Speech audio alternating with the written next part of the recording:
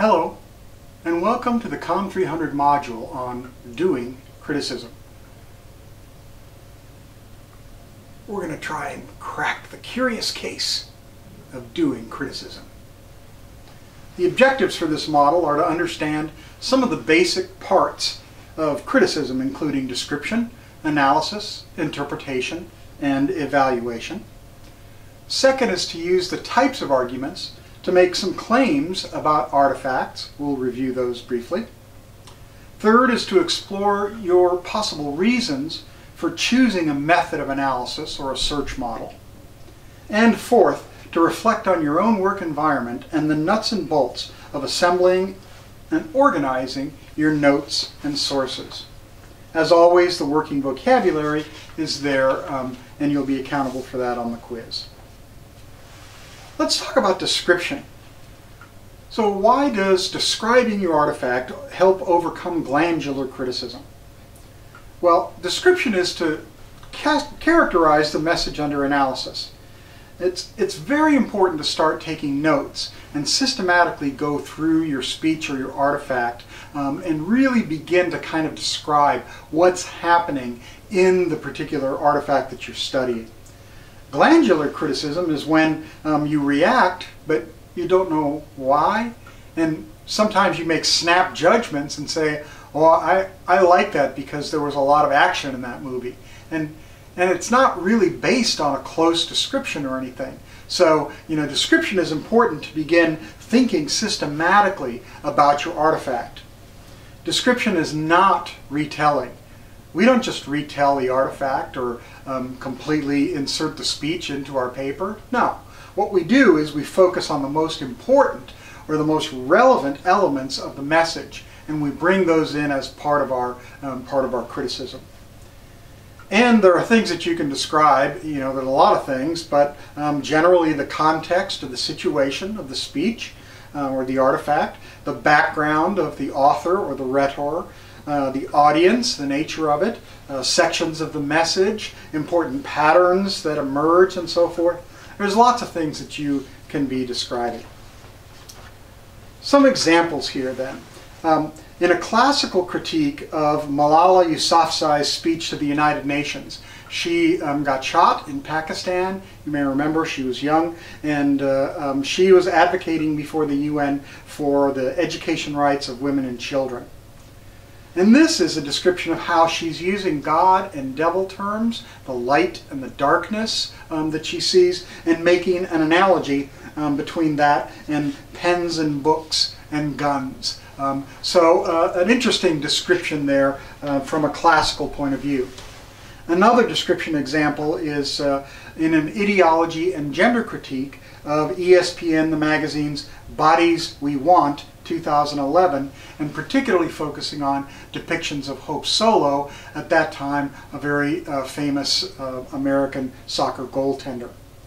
So the description here starts with someone else com completely, Jennie Finch, and describes how she's depicted, and then it moves to the depiction of Hope Solo and describes um, in what ways uh, she's depicted there.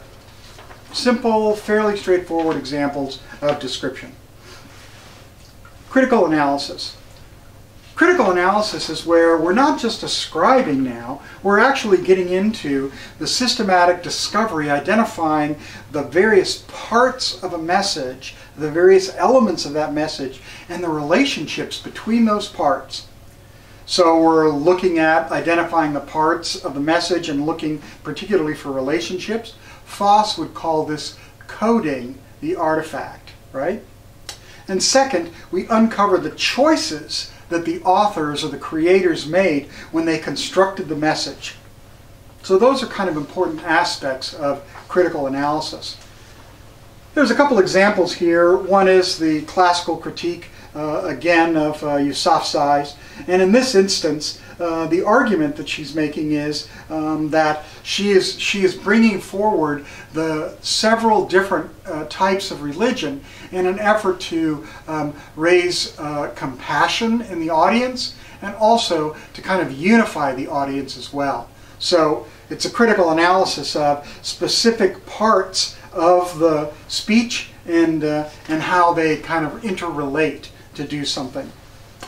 In the ideology and gender critique of uh, ESPN, um, this instance is, uh, this analysis here is talking about the difference between the idea of this section, which was to show the beauty and the strength of female athletes, but then the actual um, presented elements show that they're undermining that idea, that there's an ideology beneath it, um, that, um, and, and then they go on to describe exactly how they undermine her athletic prowess, how the pose de-emphasizes her muscles, um, and things like that. One important thing about analysis is that it's dependent what you're looking for, the parts that you're trying to identify, depend on what method you're going to use. So let's talk a little bit about um, the, the search model or method of analysis. Why are they useful to you? Well, a search model is a kind of an organized set of concepts that provide us with a ready-made um, group of ideas to examine a question and question a particular message. So you could think of it as a framework or a lens, um, uh, maybe even a paradigm to look at a particular message. It becomes a starting point for analysis of the message, and the different search models, of course, are going to highlight different aspects of the artifact. Is it dramatic? Is there guilt and victimage? Um, is it story-like? Is there are there characters and, and a plot? Um, is it about the type of music or the type of movie that's being made? Um, so it focuses on different things. And as I mentioned, Foss says that these concepts in the search model are things that we focus on uh, for, our, um, for our analysis of coding. And here are some examples of search models that we'll be talking about in, in this course. And of course there's the question mark. So after analysis then, we, we come to interpretation. Interpretation is to draw conclusions about these rhetorical patterns discovered in the analysis, to decide what do those choices mean. So you want to bring your personal self, your personal reactions to it. That's important. But you also want to bring a balcony stance that's a little more systematic and looking at actually what's in the artifact, not just your snap impressions. You want to balance those two so that you're bringing your personal reactions, but you're also bringing kind of a systematic analysis that makes reasonable interpretations about what's going on in the artifact. If you don't do a very thorough analysis, then oftentimes you get weak interpretations. And unfortunately, the first interpretations that you make are usually often the ones that you stick with and you ignore other evidence. So it's kind of important to do a thorough analysis so that then when you start drawing interpretations, um, you can draw them on the basis of important things uh, that you found in the artifact. Examples, again, the critique of uh, Yousafzai's speech. Um, here is where um, she's talking about how um, seeing oneself as a fragment of the puzzle, she invites the audience to feel similarly to her aims and elicits compassion. She talks about pride and says, you can be prideful about feeling compassionate for the women and the girls who are not getting uh, education and so forth. So essentially, she's talking a little bit about the different parts of the speech and then saying, well, here's sort of what they mean. Here's what she's doing with those parts, the choices that she's making. In the uh, ideology and gender critique of ESPN, again, this is uh, um, talking a little bit about um, the, um, the relationship between beauty and strength and how, um, in, in this instance, they are conforming the ladies, the pictures of the women athletes, to uh, a particular ideology that women must still be admired for their feminine sex appeal, not their athletic strength. And so, um, even though the idea is, is that we highlight the interrelationship of beauty and strength, what emerges is not strength, but just the focus on beauty. And um, so again, that undercuts the idea of the special issue. And finally, we come to evaluation, where we say, here's what's up with this with this particular artifact. A use of stated criteria to determine the merit, worth, significance, or effectiveness of the rhetorical strategies in a message. So the first challenge is, what are my criteria to evaluate? You know, in, in classical criticism, you'll have to analyze the effect of the speech. And, and that's a criterion for classical criticism. So you need to make an evaluation of the effectiveness of the speech. And uh, in any of your evaluations, when you move on to paper two and other uh, search models, um, you can use words like uh, inappropriate, unethical, better, worse, right, wrong, good, bad, and so forth. But for the classical critique, we focus on effective and ineffective. The example again from Yousafzai's speech is the effects of the speech extended far beyond the UN chambers. And then they quote um, someone talking about the speech and the effect that it had. And that's, that's actually really important. It really strengthens your case to get quotes from people who were talking about your artifact or your speech in support of your point about the effect of the speech. In the ideology and gender critique um, of, uh, of uh, Hope Solo's image, um, essentially this, this talks about how um, this has kind of failed the ideological critique, which is they have this idea of beauty and strength, but what they end up with, based on how the images are used, is really a false consciousness. So even though there's an idea that beauty could be found in strength and in masculine qualities, girls are again bound to the idea that beauty has only one definition, traditional, subservient, graceful women. And that's why this artifact is considered important because it had the potential to present an objection to those kinds of stereotypes, but it failed. What are the six types of arguments and uh, why are they important to you? Critics are in the business of giving good reasons for their claims about an artifact. That's what we do. We take a position on an artifact and we try and justify that to other people reading our criticism. These different types of arguments are therefore resources for making your critical points. You can go to them and say, have I, have I found one, some of these? Can I use that kind of argument here? And then finally, in the Logos module, we're going to revisit these and pay more attention to the strengths and weaknesses of the argument types. So quickly, argument by example. You give one or more illustrations, you make a general claim. In FDR's speech, he gives examples uh, there's examples here of uh, phrases of devil terms like treachery, unprovoked, and dastardly attack. And so the larger conclusion of these examples is that the ethos development in that speech is not about FDR or the American people. It's about the Japanese empire and the negative uh, credibility that they have. Argument by analogy, comparing two somewhat similar items to draw conclusions about from one to the other. Martin Luther King, I Have a Dream speech, there's a comparison of the Constitution and the Declaration of Independence to bounced checks, right, marked insufficient funds. And so what he does is, is he taps into the power of this analogy uh, because that's a shared experience that many people in his audience will have had. Argument from cause, the ability of, of X to influence the occurrence of Y, so almost any effect analysis that you do is a causal argument. FDR's critique of Japanese character, his use of the examples of Japanese attacks, and his quiet but firm tone led Congress to declare war. Okay, now there might have been an alternate clause, like a, a major attack on a U.S. city. But having said that, um, that at least counts for what is a causal claim in a criticism paper. Argument from sign.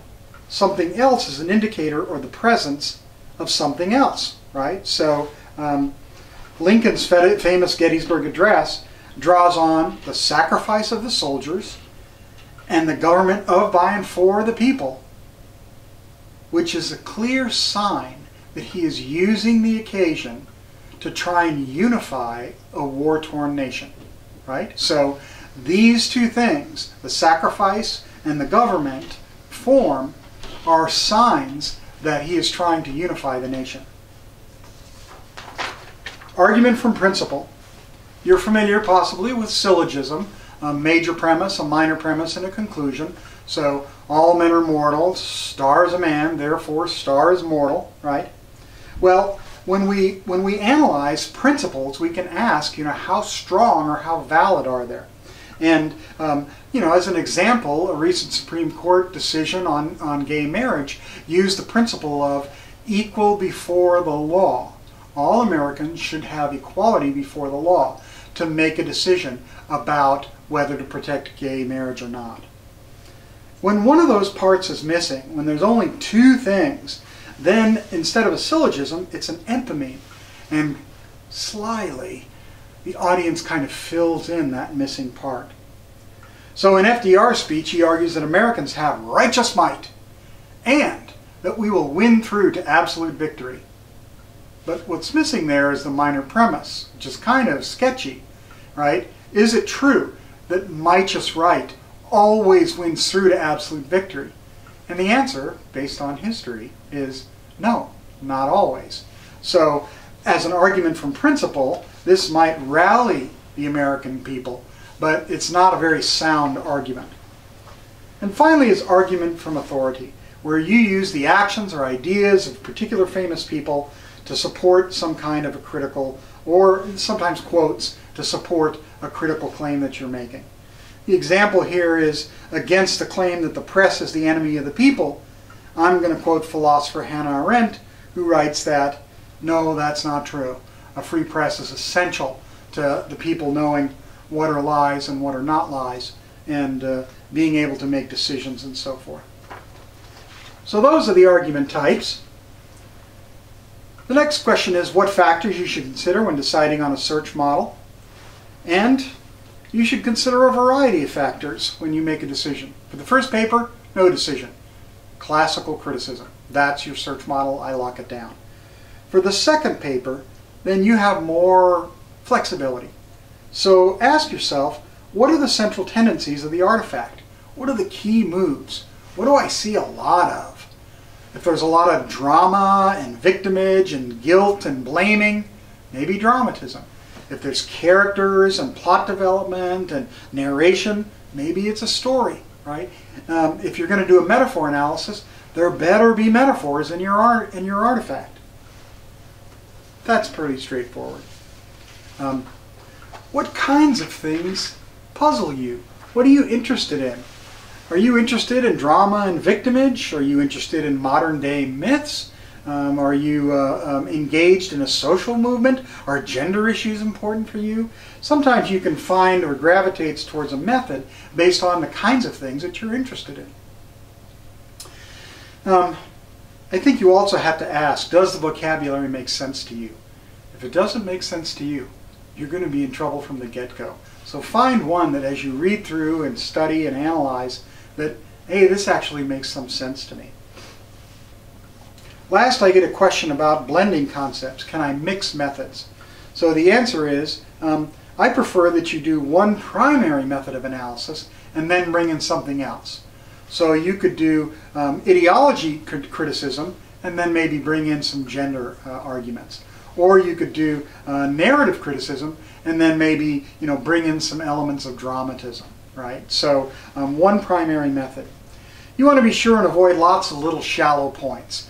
Even if you're blending ideas, you want to make sure that you have two or three well-developed main points. And finally, the implication should be sure, that section at the end on so what, should be sure to say and justify the mix of concepts. Why is it particularly helpful to look at this and this in this artifact? Let's talk about the nuts and bolts of how you take your notes and convert them into a usable outline for a paper. I'm old school. I usually take my notes on a legal pad, going through the artifact, looking at my sources and taking notes and, and so forth. And, and then once I finish with my notes on the legal pad, then I get on my computer and I type up an outline drawing from the notes. So I organize them um, right there on the outline. some people um, prefer to cut up little strips of paper like Foss talks about. Uh, I used to use 4x6 index cards to take notes and then would file the um, the index cards into groups and categories and so forth. That's how I wrote my dissertation. Um, but but it's up to you. The point is is that you need to think about. All right, I have to take a bunch of notes. I have to go through and describe some of what's happening in the artifact and look at some sources. And then how do I translate that easily and effectively into an outline format? Let's talk about the outlines. They're required for every paper they are a huge time saver. A lot of people don't like or don't understand, but if you have an effective outline with nice, clear titles and good subpoints that give examples and analysis about the title, you've got 60% of your work done. When you sit down to write the paper, then you don't have to dream up or create or anything. You can just go through the outline and, and write it up and it's not inscribed in stone. You want to get halfway through and you want to change it, yeah, that's fine.